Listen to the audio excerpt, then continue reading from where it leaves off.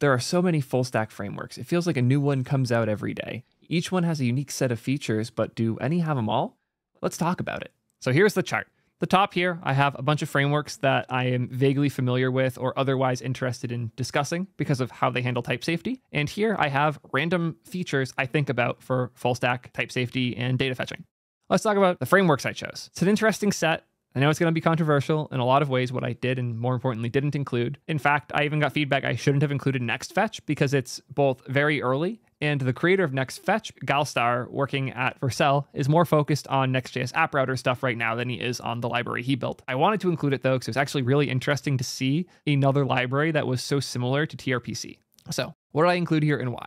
First, I included the Next.js app router. I didn't include get server side props because it's it fails all of these. It would just be a bunch of X's other than colocation. It's rough. Remix is uh Remix. They are recently discovering type safety, which is cool to see. There's a whole bunch of other features that aren't in this list around full stack, like data fetching and validation, parallelization, stuff like that, that I didn't include here, where Remix wins. But this isn't about parallelization. This is about type safety. So we'll get to that in a bit. Obviously, TRPC. Yes, TRPC isn't a framework, but this isn't necessarily about frameworks. It's about tools that let you get data to your client and prescribe ways to build around it. Fresh is the framework by Deno, meant to be their equivalent of something like Next.js uses Preact instead of React, and actually has some really interesting code gen patterns, which is why I included it in here.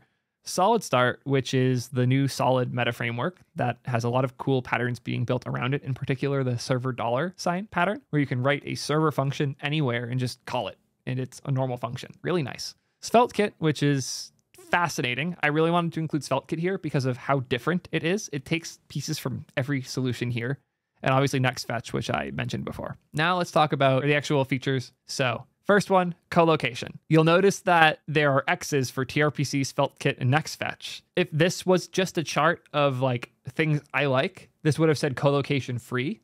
And then TRPC, SvelteKit, and NextFetch would have had checks here, which would have made those all checks. I'm not sure about colocation. It does make writing your code a decent bit simpler, but it requires a huge mental shift. And even more importantly, a how do I put it?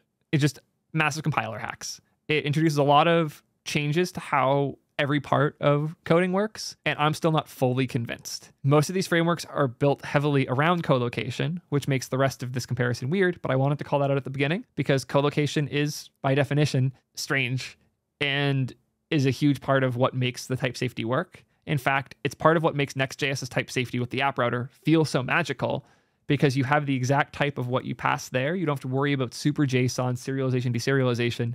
You're just generating the HTML with that exact data on the server. Really interesting stuff going on here. Now let's talk about type safe data fetching. This is the general when I request data, do I get back type safe data? In Remix, uh, use loader. I have to pass it a generic, but if I pass it a generic of loader and it's typed correctly, that works. That's why they get a half. Everything else gets full points here though, because everything else uses something, be it code gen, be it like import magic. Somehow all of the other frameworks get the types for the data when you fetch them.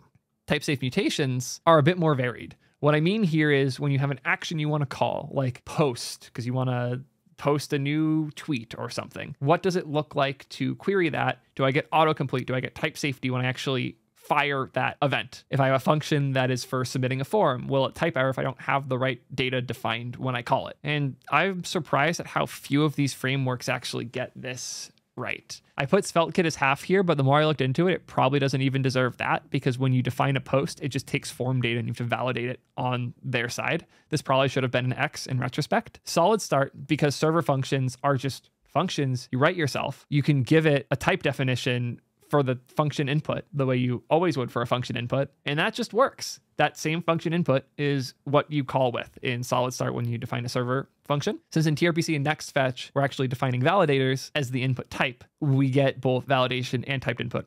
Go to definition. This one was a little more controversial than I thought, but I think it's one of the coolest wins in a TRPC code base. If I just open up one that I have, so this project is a project that is using TRPC. In here, I have api.example.create post. This is a mutation for creating a new post. And if I command click here, it brings me to the actual backend code. In here, we're in a backend file, source server API routers. where an actual backend call is being made, a database creation event is occurring here, and we return the post that is created. And if we look here, it is being passed, when I actually call the mutation, this exact value, message content. If I go in here and I change what this input's uh, expectation is, so I have emoji validator as the validator because I share it. But uh, if I go to a different example, like get post by ID, this expects ID to be a string. We can find all references and see all of the places in our code where this exact call is used. So here is get post by ID dot use query. ID is props.id. If I again just command click, we're back in the backend code from the front end code. I can change this from ID to slug, and we'll immediately get a type error here because this is not the correct type anymore. This type that is for the input of this query is defined by the validator that we put in the dot input here. And this is a, a direct relationship where we write a validator that assures us the input here is correct. And we get that over there. That's what we're talking to TRPC. When we're in a front end component, when we're using the data, we can command click and get right to where we want to be super simply. Other frameworks do have this to be clear, like Next.js App Router, because of the way the data is all being passed and just calling it. Things tend to work that way. In Remix, you don't have this because loaders are kind of a magic export thing. If you type everything super correct and manually pass generics to the right places, you can follow the path around. But the idea of like you call use loader and it shows you where that loader came from, it just doesn't do that really. Solid Start does this for server uh, dollar sign stuff when you define server functions, but for route data, it doesn't do this, which is kind of annoying. SvelteKit does this in a very interesting way where it does generate types. However, it generates types that reference the direct functions you're writing so that you can command click to the function through this generated type from where you are starting when you consume the data. It's weird, but it works. I'm really surprised at how well SvelteKit solved around these things with CodeGen. It's not quite there yet, but it's really solid. And obviously, next fetch being so similar to TRPC. So, what about CodeGen? I don't like CodeGen. CodeGen is when your type definitions and major parts of your experience are coming from some external tool running, watching the changes you make, and creating new files based on those changes. So if I am in SvelteKit and I change how data is fetched, I change the shape of the data, it's going to actually update a generated file that is where the types are imported from in the component that you write. This allows us to have separation of concerns and accessing data with the correct types without having to import a server file in a client file. It's a really nice workaround that, again, requires you to have the SvelteKit dev server running to get that working, but it's pretty solid once you get it set up.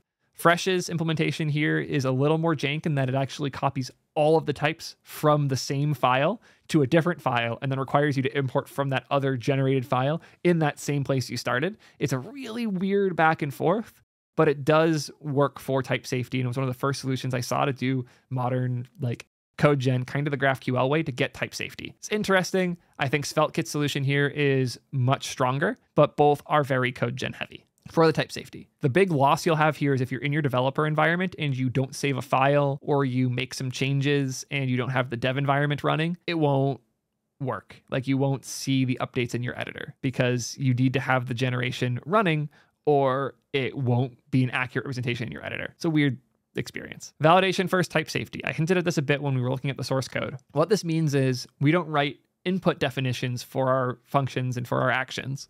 We write validators as part of our function definition. So in TRPC, when I have get post by ID, it has a dot input, and the dot input takes in a Zod object that validates the shape of the, the input.